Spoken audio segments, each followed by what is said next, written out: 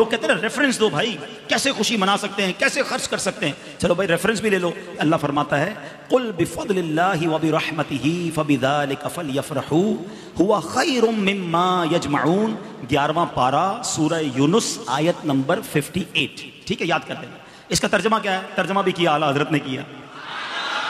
तुम फरमाओ, अल्लाह ही के फजल और उसी की रहमत, और उसी पर चाहिए कि खुशी करें, वो उनके सब धन दौलत से बेहतर है।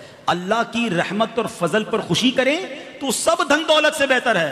अच्छा फिर अल्लाह की कोई भी रहमत हो तो खुशी करने का हुक्म है तो जो सबसे बड़ी रहमत हो, जो सबसे बड़ी नेमत हो, अब आप, हो सकता है कोई कहे, यार, नबी पाक अल्लाह की रहमत है, ये कहाँ से आया भाई? और फिर कुरान का रेफरेंस दे देता हूँ। अल्लाह कुरान में फरमाता है, वमा अरसलना का इल्ला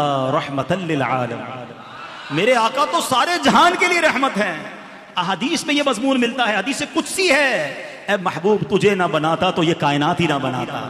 जो वजह तखली के कायनात हैं, जिसके सबब ये दुनिया बनी है, उनकी आमद की खुशी क्यों ना मनाएँ तो इन धूमधाम से मीलाद मनाएँगे।